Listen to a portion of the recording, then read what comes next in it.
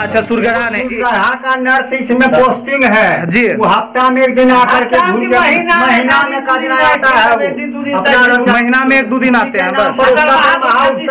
अच्छा। है उसको। इसीलिए ना हम सब आज यहाँ पर आए कि मेन रूप से देखिए यहाँ पर ये स्वास्थ्य केंद्र को देख लीजिए कि किस प्रकार का स्वास्थ्य केंद्र है। जहाँ की छत्र जो चूहा चूता है आप देख सकते हैं कि स्वास्थ्य के लिए सरकार इतनी इतनी पैसा, पैसा पूरा जीडीपी का लगाती है लेकिन अगर धरातल पर देखा जाए तो पूर्ण रूप से स्वास्थ्य व्यवस्था इतनी बिगड़ी हुई है।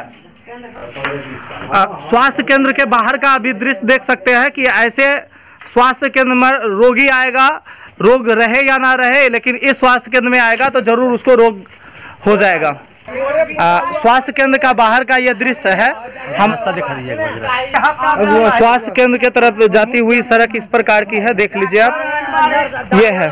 आंगनबाड़ी जो है कि यहाँ पर घुस से बात किया जाता है आंगनबाड़ी नहीं आता है यहाँ पर कोई साफ़ ही सरेयात नहीं है। कोई भी सब कोई चीज़ नहीं घुस से बात होता है यहाँ पर? सब पैसा मांगते हैं हाँ, तब का हाँ। वे सब घुस से बात करता है। बस घूस घूस चलता है। घूस चाहिए घूस नहीं देंगे छह हज़ार रुपया देता है सरकारी हॉस्पिटल आधा आंगनबाड़ी ले लेता है। हाँ। आधा में मिलेगा वो मिलेगा चाहे नहीं मिलेगा। हाँ। यहाँ कोई बातचीत नहीं होता है सब कचरा है।